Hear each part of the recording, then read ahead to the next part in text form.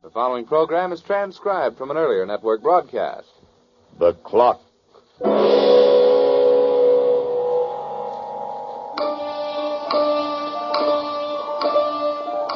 Sunrise and sunset, promise and fulfillment, birth and death.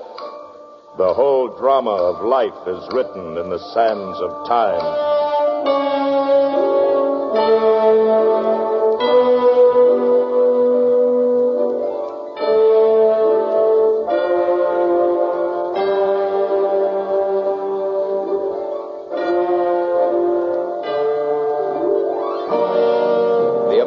Broadcasting Company presents another in a series of dramatic programs, The Clock. From Hollywood, The Clock stars Cathy and Elliott Lewis, the airwave's most distinguished acting couple, and is produced and directed by radio's master of the art of suspense, William Spier.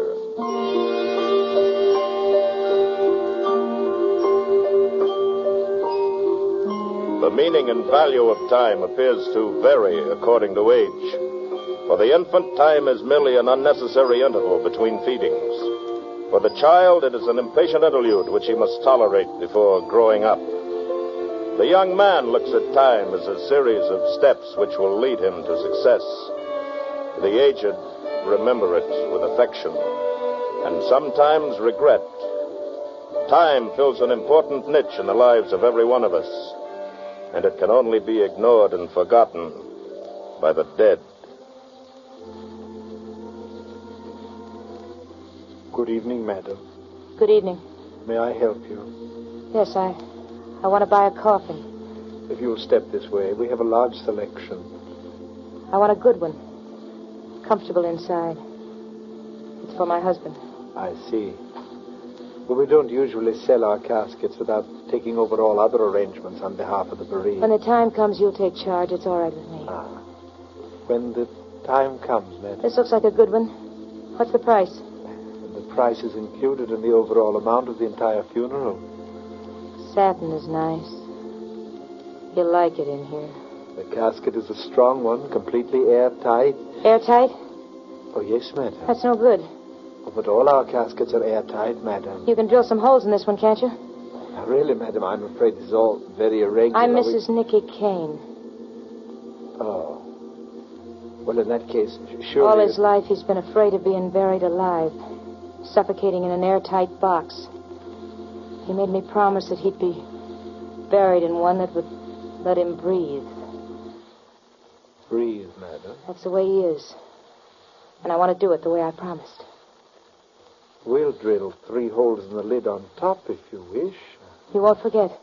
You can rely on it, madam. One thing more. He doesn't want to be embalmed. You bring him down here to your place as is. Don't touch him. Are you sure? You want the business, mister? Oh, yes. Yes, of course. Then do as I say. You pick him up and bring him here. I'll bury him myself. When should we call for the deceased, madam? Next Tuesday, midnight. But that's five days from now. He won't be dead until then. And where shall we call? Death house. State prison. My husband's getting the chair. For murder.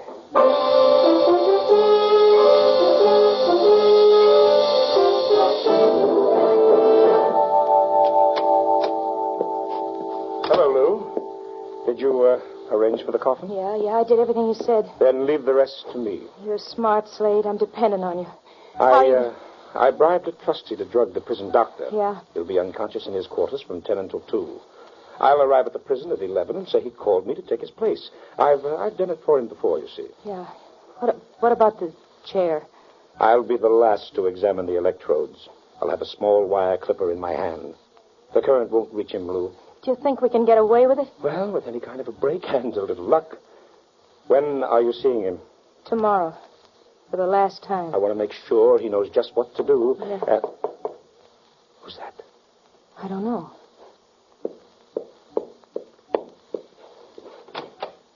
Yes? You don't remember me, do you, Mrs. Kane? Well, it's the penalty of our profession. When people meet us, their bereaved state of mind, their thoughts being only on the dear departed. The mortician. Who is it, Lou? It, it's the gentleman who's arranging. You know, the, the arrangements for Nicky's Uh, burial. Mr. Bryce, I take it this is Dr. Slade. May I come in? Yeah, sure. It's most fortunate that I find you together. What do you want? Uh, I've been a mortician. My father before What me. do you want? Pardon me. Pardon me for being garrulous. We have time. So much time in my profession. Lou, did you I- ask him here? No. No, no, no, she didn't. I'm here as the result of a rather natural curiosity about a, an unnatural circumstance. Air holes in a coffin. I told you why. But I didn't believe Now, you. wait a minute. No, please, please, I'm not finished. Dr. Slade, what are your plans for next Tuesday midnight? Why, I, I, I think. I believe, sir, that next Tuesday midnight we'll find you in attendance at the execution of this dear lady's husband. Called there due to the sudden indisposition of the prison. Lou, how much did you tell him? He's been listening at the door. No, no, no, believe me, I wouldn't think of eavesdropping. It's all a simple deduction. Now, look, Mr. Uh, Uh, Bryce. look, Mr. Bryce. I think we can see our way clear to paying a reasonable fee for your uh, time and trouble. And don't forget, after this is over, it will be just as much to your disadvantage to talk about this matter as it will be ours. That's true. Well, that's so very true. And that's why I've come to you now. Our time is so limited, all of us. Don't you agree? A cliche, perhaps, but so true. Here today and gone tomorrow.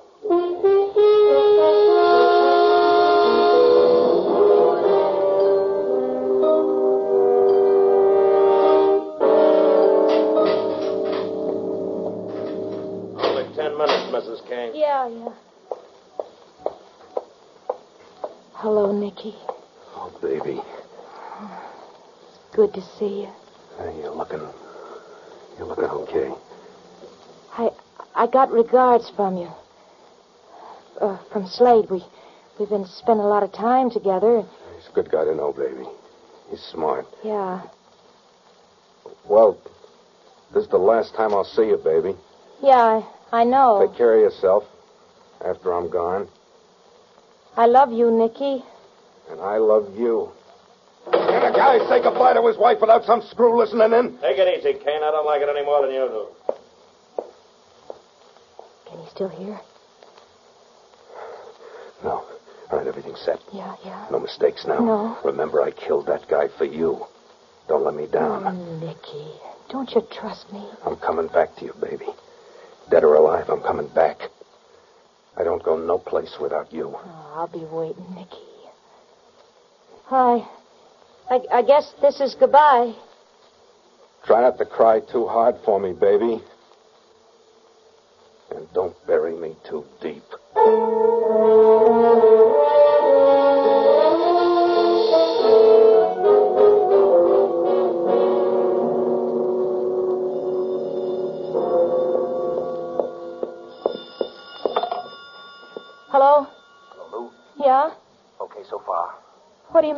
Okay.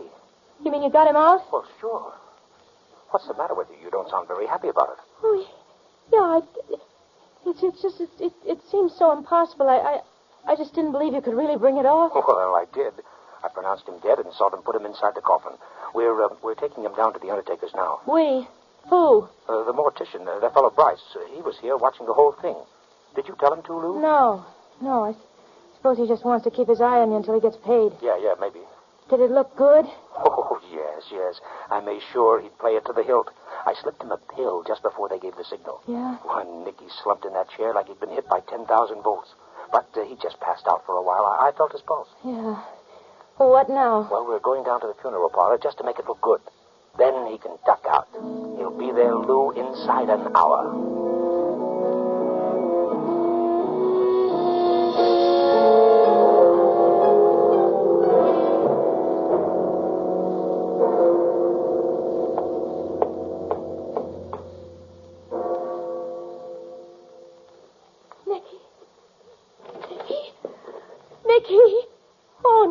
Oh, darling. Nicky. What are you crying about? I'm, I'm crying, Nicky, what I've been through during the past few hours. Oh, but you're alive, Nicky. They didn't touch you. They didn't even touch you. Oh, oh, come on and sit down. And Rest up for a few minutes. You're safe now. You're safe, Nicky. With me. Did you make any plans? Oh, no, I, I, I just wasn't sure what to do.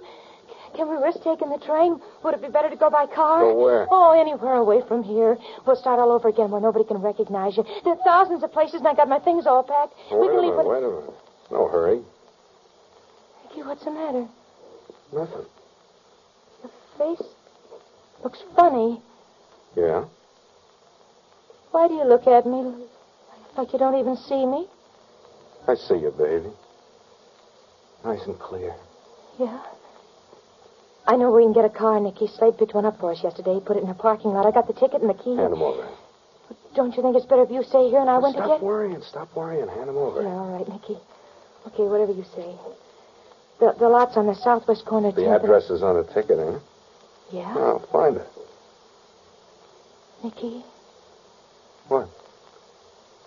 You know, you, you haven't even kissed me yet. Haven't I?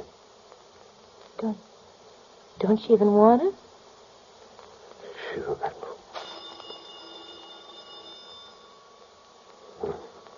the phone. Oh, I'm not going to answer. Go ahead, answer it, baby. Go. Okay.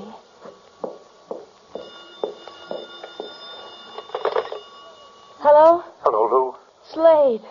Oh, Slade, I'll never forget you for this as long as I live. You were just wonderful. Lou. Lou, I got bad news for you, Lou. Bad news? Yeah, something went wrong. You mean they found out? They're after him? Worse, Lou. Oh, but we still got time to get away. We'll be out of town inside Listen to half. me, Lou. Listen to me. It's finished. What's finished? The mortician, Mr. Bryce, just called me. He's homesick. What are you talking about? He and I took the coffin to his place, and then I left him, Lou. I, I was beat. Yeah, yeah, It turns out he caved in himself a couple of minutes after I left, just passed out, virus X or something. Yeah. Yes, uh, they took him home right away. He, he couldn't even talk. So, Lou, his partner took over. Well, what are you trying to tell me, Slade? The partner didn't know, Lou. He wasn't in on it. He took one look at Nicky, doped up from the pill I gave him. Well, What is it? What is it? They embalmed him. The embalm- Yes. Nicky's dead, Lou. Nicky, What's the matter? Bad news, baby? Nicky. Why don't you hang up the phone if it's bad news, baby? You, I, I-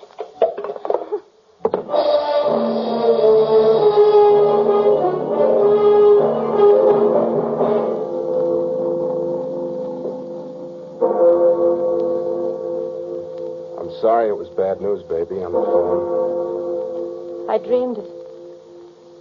I dreamed it, didn't I, Nicky? I dreamed it. Come over here, Lou. No, no, don't, don't touch me. Don't you love me no more? But, but Slade. Never mind about Slade. Nicky, Nicky, go back Go back where? wherever you came from. Leave me alone. Please leave me alone. I don't go nowhere without you, baby. I told you that before. Please, please go away, This is no way to treat your husband, Lou, not after all I went through. Remember the guy you were married to before you married me? Yeah, I remember. I killed him, baby. I killed him for you. And I took the rap without squawking. Stretch out your hand, Nicky. My hand, baby? Yeah, I want to touch it. Go ahead. Did you really get away?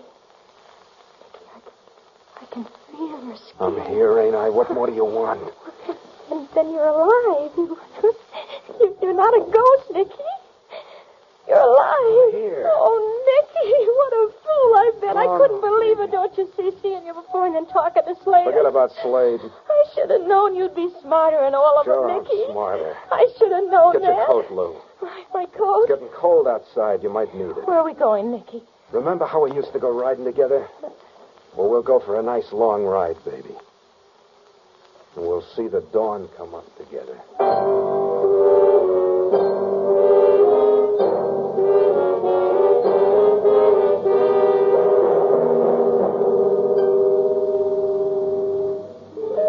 Life is a tour which all must make. But for some, the distance is covered in a shorter time. Although the highway is well marked, the traffic only moves in one direction. And one way tickets are the rule. But who can say that there has never been a traveler who has chewed round trip?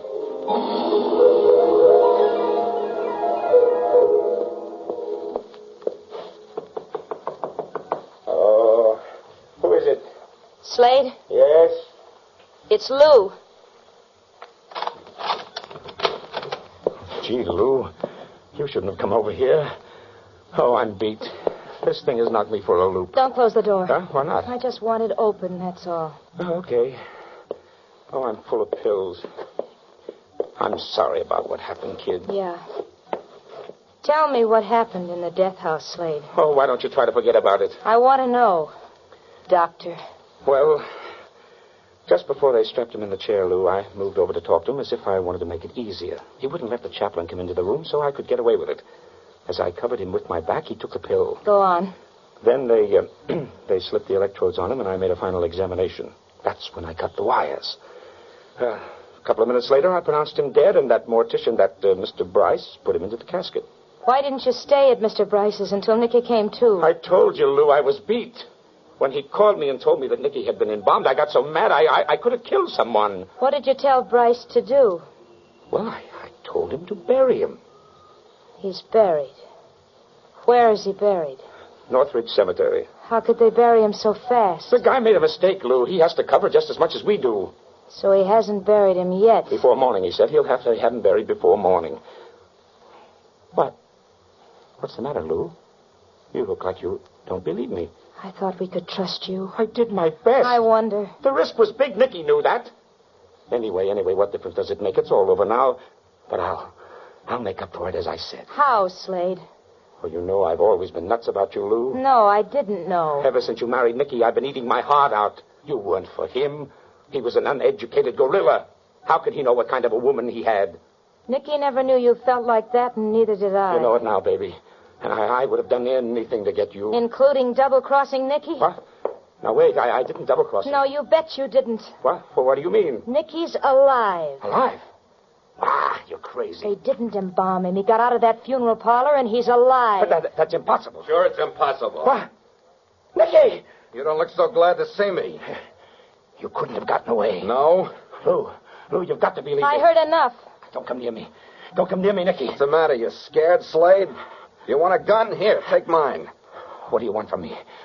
Why did you come back? He came back to thank you for that cross. All right. I'll admit I crossed him, but it wasn't at the Undertaker's. Don't be scared, Slade. You got a gun. I didn't cut the electrodes. I lied to you, Lou. They shot 10,000 bolts through his body. You've got to believe me. They killed him in that death house. I saw them do it. Yeah, you were there, all right. He's dead. He's dead, I tell you. He's dead. Mickey! You're all out of bullets, Slade. He's dead.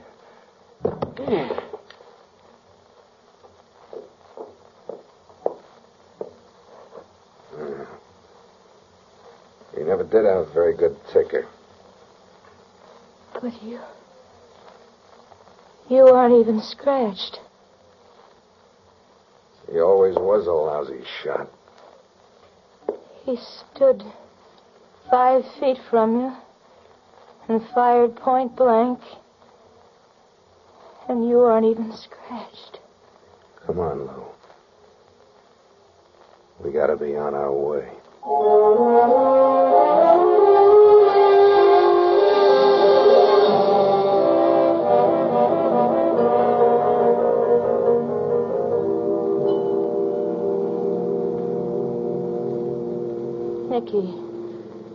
where are you taking me? What difference does it make? Because I'm afraid of you. Why? I don't know why. There's nothing to be afraid of, Lou. Nicky, please. Please, if you ever had any love for me at all, let me out. Please let me out and go away. Just go away somewhere so I'll never see you again, please. Just leave me in peace. I ought to. But I don't go no place without you, Lou. I told you that before. What time you got, Lou? It's nearly six. Dawn will come up pretty soon now. Where are we going? Please, you still haven't told me where are we going. We'll be there in a little while. How are you feeling? I'm all right. Remember this road, Lou? No. You ought to remember. We drove out this way the night we got married. That was a thousand years ago. That's how I feel, too. We stopped at a roadside bar a little ways up, remember? It was that all night joint with the jukebox in the corner? And we danced? Yeah. Yeah, I remember that. That's when I told you first that I'd never leave you. That's when I said you couldn't get away from me. For the rest of your life. And you were right, Nicky. Were. Lou, how about a drink and another dance for old time's sake? We're coming to it. There's the bar at the end of the road. Let's stop there just once more. All right, Nicky. Whatever you say. We'll have a last nightcap together.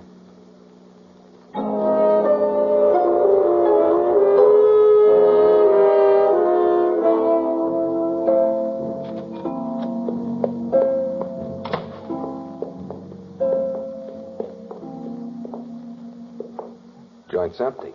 But the lights are on. The barkeep must be here. He's inside, maybe taking a snooze. We don't need him. Let's find him, huh, Nicky? I said we Let's- don't let's- need him. There's a bottle on the bar and a couple of glasses.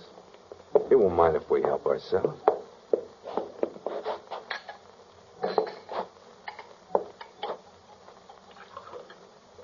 Here.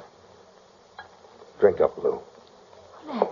Th- There's no hurry, is there? We can't waste time. I only got till sunup. Well, how, how, how about that dance? You got a nickel? Yes, sure, I think so. Stick it in the jukebox. Get something sweet.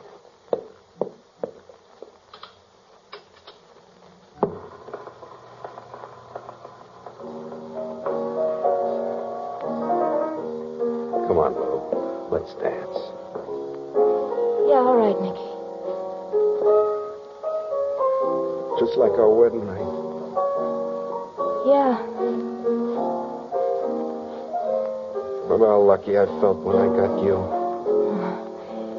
You're still lucky. Oh, no, no, baby. My luck's run out. What do you mean, Nicky? I'm tired, baby. I'm awful tired. I only got till sunup. Why do you keep saying sunup? What's going to happen at sunup? I thought I was dead. And I didn't mind it at all. Then I heard maybe I was going to stay alive, and that was better. And then Bryce told me. Reminds me, I owe a guy some money. What?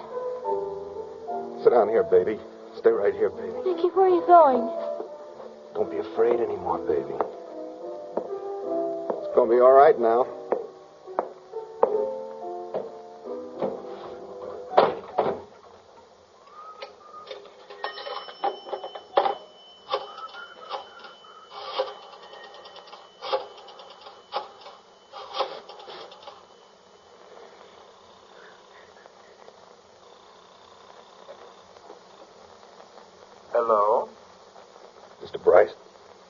Service.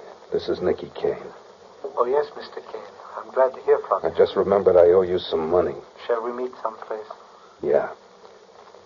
Northridge Cemetery. You're supposed to be burying me at 6 a.m., aren't you? Why, yes, yes. I'll see you there. Everything goes satisfactorily? I guess so. You cut the electrodes so I'm alive. You told him I'd been embalmed, so Slade's dead. I guess so. I, I've never done anything like this before, Mr. Kane. Of course, I could use the money, but mostly my sympathies swayed me. That's so. Yes, you, of course, inevitably must pay your debt to society, but I could not resist a poetic desire to see that you and your wife spent your last hours together. I suppose I'm being romantic. Yeah, yeah, thanks.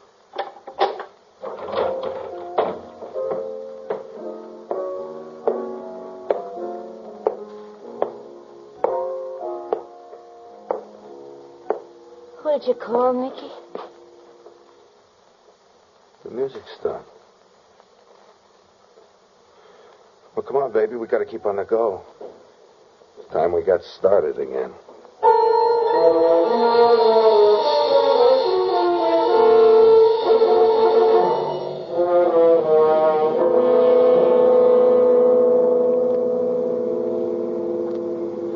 We're almost there, Lou. Stop on top of this hill. Why, this. This looks like. Yeah. Ain't a bad place as these places go.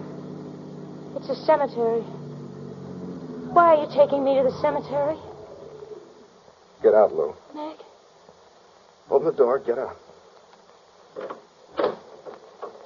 Right over there in the second row. Ground's frozen. Oh, Becky. That's all right. It's all right. Why did you bring me here? I told you so many times before, but I'll say it again. You don't go no place without me, baby. We stick together. Always. Somebody sent flowers. That was nice. Did you send the flowers, Lou? Oh, no. Must have been Mr. Bryce. That reminds me, I gotta leave this envelope for him to take care of the arrangements. They dug it nice and deep, too. What? They dug it nice and deep. Deep enough for both of us. That's good. No. Let go of my arm, Nicky. It's getting to be time. And don't be afraid, Lou. Here. Here's the gun. No. No, Nicky. Please. Take please. it, baby. No. You can't hurt me. Mm-hmm. Go ahead, you can't hurt me. Please. Nicky, please. Go on, baby. Couldn't we- Please. There's four shots in it. This time they're not blanks. You gotta get me with one of them.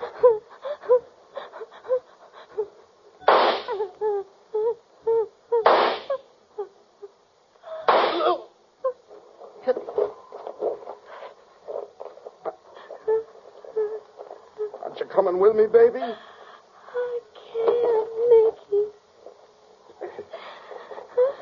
You want me to help you? Baby.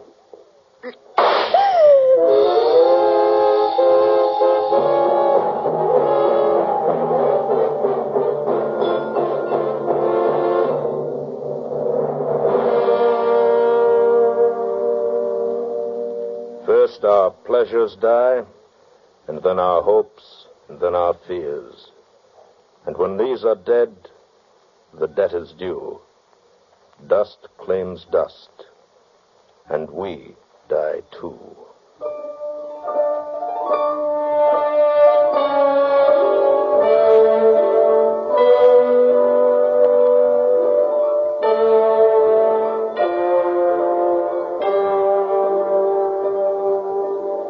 From Hollywood, The Clock is produced and directed by William Spier and stars Cathy and Elliott Lewis. This evening's play was written by Lawrence Klee, with music composed by Bernie Green and conducted by Basil Adlam. Next week, same time, listen to The clock.